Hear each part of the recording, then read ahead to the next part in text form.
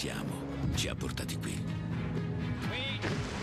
La ricerca della libertà ci ha portati qui. È nel nostro DNA. Innoviamo perché è nella nostra natura. Nuova Jeep Grand Cherokee con Jeep Free a interessi zero. Oggi paghi la metà, nessuna rata per due anni e poi sei libero di restituirla. Quando si dice tutto per la casa, sembra semplice. In realtà, In realtà, da Valcolor è proprio tutto più facile. Carta da parati, moquette, materiali per decorazioni, piccola ferramenta, colori, vernici e tanto, tanto, tanto altro. E cosa dire dell'arredo e dei complementi d'arredo? Trovi mille idee e tutto ciò che può rendere viva la tua abitazione con originalità e buon gusto. Valcolor, frazione La Grenade 51, a Sar, Aosta. Proprio vero, da Valcolor non manca niente.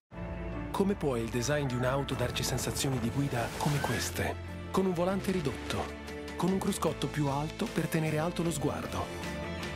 E semplificando per arrivare all'ergonomia pura. Così non ci sarà più distanza tra la superficie della strada e quella della nostra pelle. Voilà. Nuova Peugeot 308. Design for Eye Sensations. Peugeot.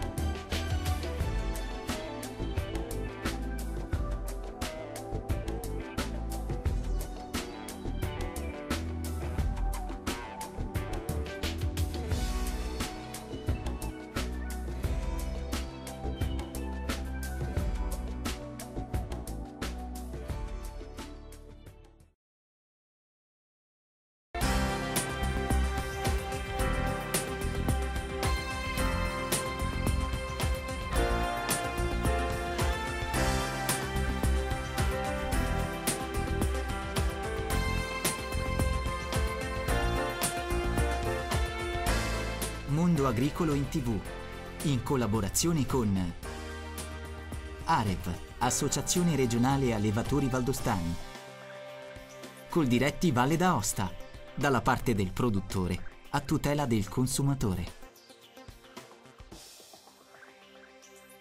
L'argomento di questa puntata di Mondo Agricolo in TV è la sicurezza alimentare.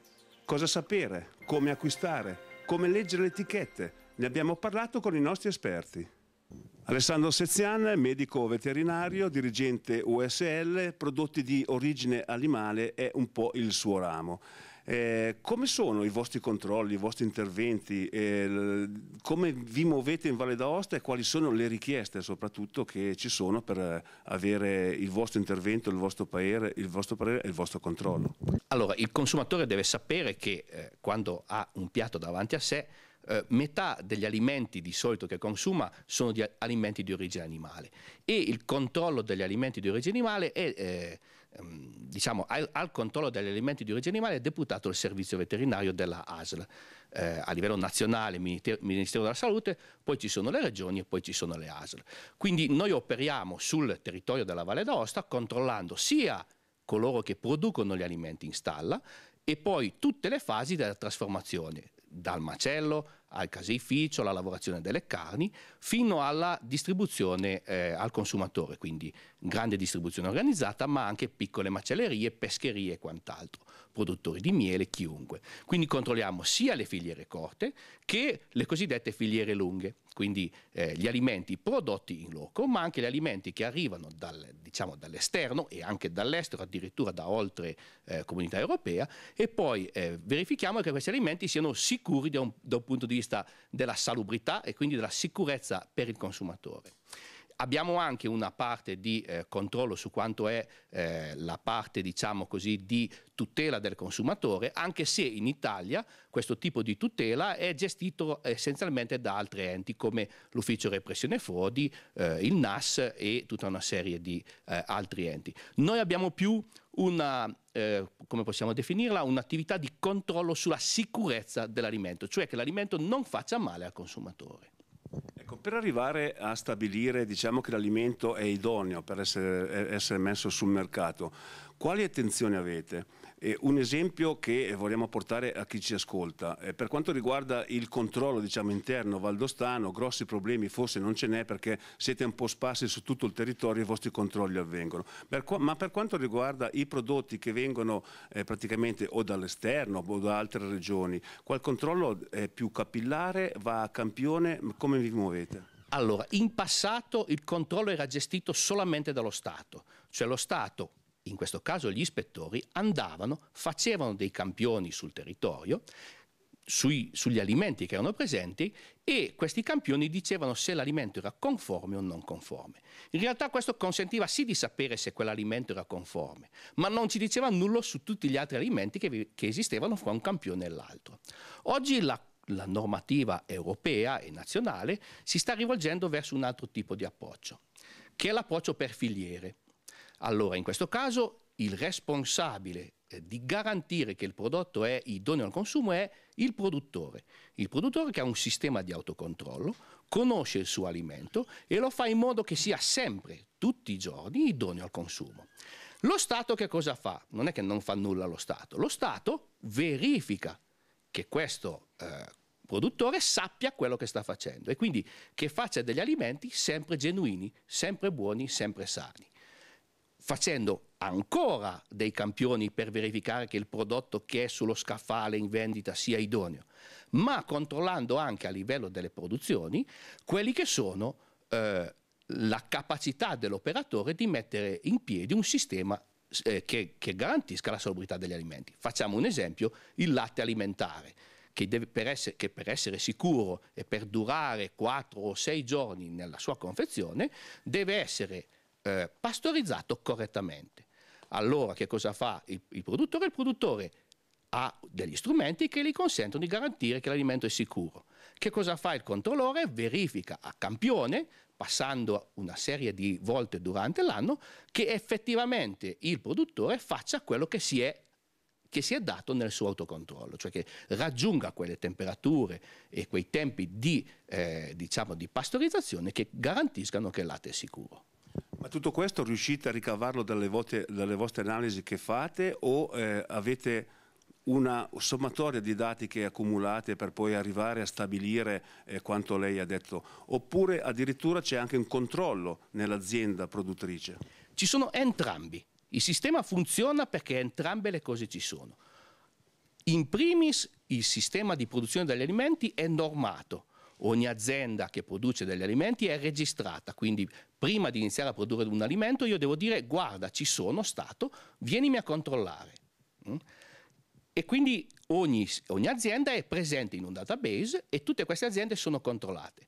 Tenete conto che il controllo non è fatto sul prodotto, solo sul prodotto finito, ma è dato dal fatto che tutti i prodotti e l'intera filiera è conosciuta, tracciata e controllata. Cioè anche per gli alimenti che arrivano dall'estero, questi alimenti possono provenire solo da stabilimenti che hanno certi requisiti che siano conformi ai requisiti della CE. Facciamo un esempio un, uh, un, um, una carne che provenga dall'est d'Europa per poter essere importata in Europa deve avere certe caratteristiche.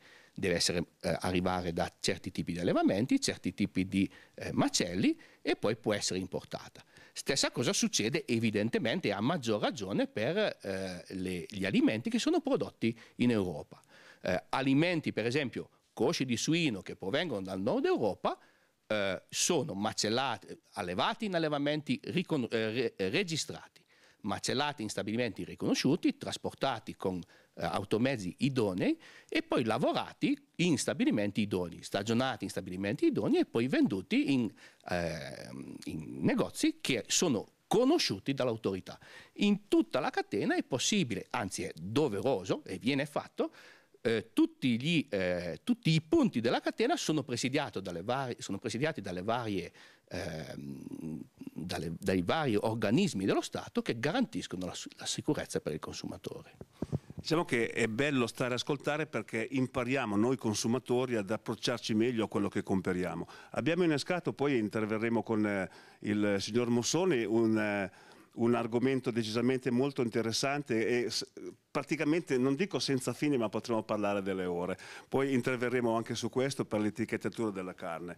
Un'altra battuta che mi viene da fare con lei perché comunque sono curioso e voglio sapere determinate cose. Eh, abbiamo parlato di eh, prodotti che vengono dall'estero abbiamo parlato eh, di produttori, abbiamo parlato di controlli, ma eh, come fate a risalire a un produttore? Oggi per esempio lei prende a campione un controllo da fare su della carne. Carne bovina penso non ci siano problemi perché c'è un'etichettatura, quindi si riesce a risalire bene. La carne suina, per esempio, che l'etichettatura è ancora decisamente molto aleatoria, anzi non inesistente? Allora, tenete conto che sono due principi completamente differenti. Una è l'etichettatura della carne e fa sapere al consumatore l'origine dell'animale, dove è stato allevato, dove è, stato, dove è nato, eccetera. Questo è oggi, allo stato attuale, obbligatorio solo per la carne bovina negli alimenti di origine animale. Cioè per la carne bovina in etichetta deve essere espresso chiaramente dove è nato l'animale, dove è stato allevato, dove è stato macellato, contando il numero del macello, e dove è stato sezionato, cioè ridotto in piccole porzioni. Questo, questo, è un, questo, è un, bene per il consumatore. Questo è un bene per il consumatore, ma è qualcosa di più rispetto alle nostre necessità di controllo. In realtà la normativa eh, europea prevede un altro tipo di tracciabilità, o meglio di rintracciabilità. Durante i vari passaggi a livello delle varie aziende nella filiera produttiva, è obbligo che chi acquista un prodotto sappia da chi l'ha acquistato, quanto ne ha acquistato, che cosa ha acquistato e di che partita di prodotto ne faceva parte. Quando vende questo prodotto alla cate- al all'anello della catena successiva, deve sapere a chi ha venduto il prodotto, quanto ne ha venduto, che cosa ha venduto e di che lotto faceva parte. Questo a che cosa serve? Questo serve che nel momento in cui io mi trovo sul mercato un prodotto che potenzialmente è pericoloso o è addirittura pericoloso, l'ultimo, diciamo, che detiene il prodotto e l'autorità competente, lo Stato che in quel momento interviene a tutela del consumatore, devono attivare un sistema di ritiro e richiamo del prodotto e avvisare tutta la filiera che c'è un problema in quel prodotto. Queste informazioni di passaggio che ci, che ci devono essere tra un anello e l'altro consentono quasi sempre, anzi direi sempre, di, di, reperire il prodotto nelle varie parti. Succede abitualmente che per eh, problematiche intervenute nell'ambito della produzione eh, ci siano dei ritiri, dei richiami del prodotto dal mercato. Uno potrebbe dire questa è una cosa brutta perché si toglie dal mercato un prodotto pericoloso. No, vuol dire che stiamo lavorando bene, c'è il controllo, che i produttori si sono accorti che c'è un problema. È meglio accorgersi del problema e togliere il problema che fare finta di nulla. Allora, quando un prodotto viene ritirato dal commercio è sintomo è un segno che il sistema sta funzionando, vuol dire che c'è qualcosa che non va, ma che si sta operando. Allora, quando succede questo, abitualmente noi siamo avvisati tramite un, o dalle aziende, anzi spesso da entrambi, dalle aziende e da un sistema che si chiama sistema di allerta RASP, eh, Rapid Alert eh, System Food and Feed, che è un sistema europeo, in cui ci dice guardate che nella vostra regione è stato distribuito questo prodotto che potrebbe avere questo pericolo perché è stato riscontrato in un altro prodotto di una partita simile a quella che avete voi. Ci viene detto guardate che questo prodotto va ritirato e quindi noi sappiamo dove andare a verificare se l'azienda ha già effettuato il ritiro perché l'anello che sta a monte rispetto a lei gli ha già detto guarda che quel problema, che quell'alimento ha un problema. E questo avviene regolarmente, noi ci stiamo rendendo conto che gli operatori lavorano bene. Quando noi arriviamo, di solito nelle 24 ore dopo che abbiamo eh, ricevuto l'informazione, ci accorgiamo che gli operatori hanno già ritirato dal commercio questo prodotto, evitando un possibile pericolo per il consumatore. Diciamo siamo quasi in conclusione per questa prima parte, poi ci fossero altri interventi da fare quando sentiremo poi gli altri ospiti, eventualmente eh, ci confronteremo ancora. Un, così, un, concetto comune, modo di dire, è che eh, se stiamo a guardare un po' un panorama a livello europeo, ben poco si sa degli interventi a favore del consumatore, per esempio ritirare della merce che non è idonea ad essere messa sul mercato per quanto riguarda altre nazioni. Per quanto riguarda l'Italia, non dico che quotidianamente, ma sovente abbiamo eh, la percezione e anche visualizziamo i messaggi che ci arrivano, è stata ritirata la merce, state attenti a questo prodotto, ci sono degli accorgimenti da tenere per quanto riguarda altri prodotti, quindi sta capitando tutto in Italia una cosa del genere o sotto sotto c'è un controllo decisamente più capillare e una eh, maggior tutela al consumatore? Allora, diciamo che il problema è proprio che in Italia c'è un sistema di controllo che sta tutto sommato funzionando molto bene. È forse oneroso da un punto di vista del, del diciamo, economico, ma funziona molto bene. Eh, noi siamo i primi come, come nazione nel sistema eh, RASF, cioè segnaliamo molti ritiri e richiami di prodotto, sia le aziende che il controllo ufficiale, perché anche le aziende quando trovano autonomamente un problema nell'alimento sono tenute a eh, segnalare questo problema all, all'autorità di controllo e a ritirare il prodotto. In più ci sono i controlli che fanno, come si diceva prima, le autorità di controllo direttamente sul prodotto. Mm. Allora noi in Italia siamo, fra le nazioni europee, al primo posto da anni su, in queste segnalazioni. Che cosa vuol dire? Vuol dire che i nostri prodotti fanno male o fanno male più degli altri? No, semplicemente noi controlliamo parecchio. Quindi il nostro sistema di controllo eh, fa molti campioni a tutela del consumatore e quando c'è un problema ci si attiva per cercare di risolverlo. Quindi è un sistema virtuoso. Eh? Eh, addirittura eh, la normativa europea prevede che il consumatore sia informato dalle aziende su quali sono i prodotti che potenzialmente sono pericolosi. Ci sono due, due sistemi che lavorano in parallelo. C'è quello del ritiro. Allora un'azienda si accorge che il prodotto non è idoneo al consumo perché ha qualche problema, ma non è pericoloso o non è ancora arrivato al consumatore. In questo caso l'azienda non informa il consumatore perché il consumatore non lo ha ancora ricevuto, ritira esclusivamente tramite i suoi fornitori il prodotto. Quando invece eh, il prodotto può essere arrivato al consumatore, oppure se è arrivato al consumatore ha un elevato grado di pericolo, allora l'azienda è tenuta a richiamare il prodotto, vuol dire a informare il consumatore che quel prodotto è potenzialmente pericoloso. Facciamo un esempio, quello del pesto di un po' di tempo fa. Era un prodotto non pericoloso, hm? aveva il, germe del botulino, ma non aveva prodotto la tossina. Però l'azienda si è tutelata dicendo attenzione, io per precauzione ritiro perché se il consumatore non ha mantenuto al freddo e, ha, eh, e, e il prodotto è deperito per qualche cosa, potrebbe aver prodotto un un, una tossina botulinica. Allora l'azienda ha detto ritiriamo ha informato il Ministero, la sua USL, la Regione e il Ministero e hanno deciso di fare un ritiro, richiamo del prodotto, avvisando tutti i consumatori attraverso la stampa, eccetera. In, questo è un caso emblematico di un prodotto che aveva un elevato rischio per il consumatore. Dimostrazione anche della serietà dell'azienda che, che praticamente, non dico che si mette in gioco, ma fa vedere che ritira ha un piccolo dubbio su un prodotto, ritira questo prodotto, quindi possiamo dire che sono aziende coscienziose, sono aziende alle quali dare fiducia da parte del consumatore ovviamente. E poi volevo anche introdurre un'ultima battuta per quanto riguarda il sito della regione. La regione Valle d'Aosta è la prima regione in, eh, in Italia che pubblica praticamente tutto quanto voi fate.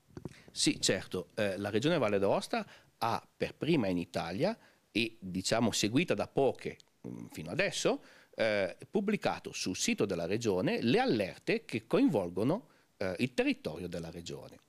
Eh, praticamente sul sito della regione vengono indicati eh, gli stabilimenti o i punti vendita dove, sono, eh, dove, dove era possibile reperire dei prodotti che sono stati oggetto di ritiro o di richiamo. Questo non vuol dire che quei punti vendita in quei punti vendita non bisogna comprare. Anzi, questo vuol dire che per quel singolo prodotto, in quel punto vendita era stato messo in vendita quel prodotto che poteva potenzialmente avere un pericolo, ma che quel prodotto è stato ritirato. Quindi i punti vendita che sono indicati in, quella, in, quella, in quel, quello schema sono punti vendita a cui il prodotto che è stato acquistato di quel lotto non va consumato, ma sono punti vendita che eh, paradossalmente stanno lavorando molto bene. Questo è lo scopo di, quella, di quell'informazione lì. Ritiriamo un prodotto, non mangiamo quel prodotto, ma gli altri prodotti di quella filiera paradossalmente sono sicuri perché tutto funziona come deve funzionare.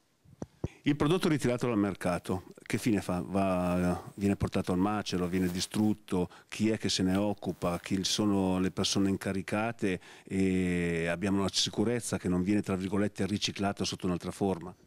Allora, anche qui ci sono diversi modi di operare a seconda del tipo di prodotto che ci troviamo di fronte. Di solito i prodotti che sono ormai in vendita, eh, che sono confezionati, vengono distrutti, in quanto non vi è convenienza economica a rilavorarli o a trovare un, eh, un qualcosa, eh, un sistema per sanificarli, per bonificarli. E questo succede, diciamo, nei prodotti che sono in vendita, quindi vengono distrutti, eh, la distruzione compete all'operatore del settore alimentare, quindi al, eh, a chi ha messo in vendita i prodotti, ma eh, viene fatta sotto la supervisione dei, eh, del servizio veterinario piuttosto che degli ispettori eh, del, del SIAN, che è l'altro servizio dell'OSL che si occupa degli alimenti non di origine animale.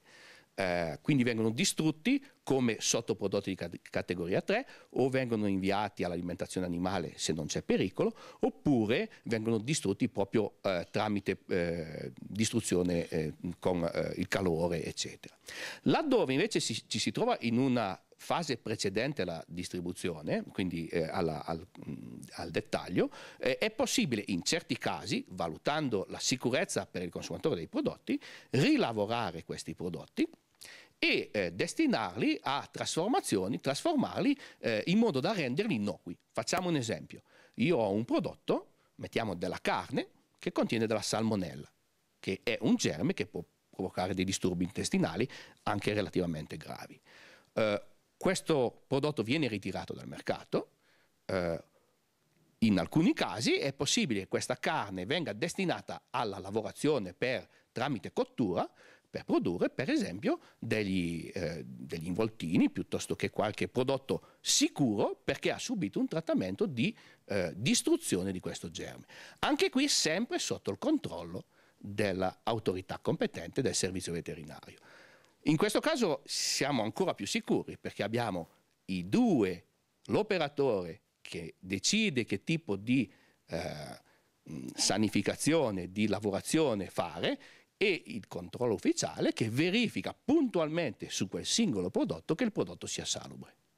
Dipende da una valutazione economica eh, per non penalizzare troppo aziende che hanno lavorato bene. Allora, se un prodotto si può recuperare, lo si recupera. Se invece non si può recuperare, lo si distrugge. Mondo agricolo in tv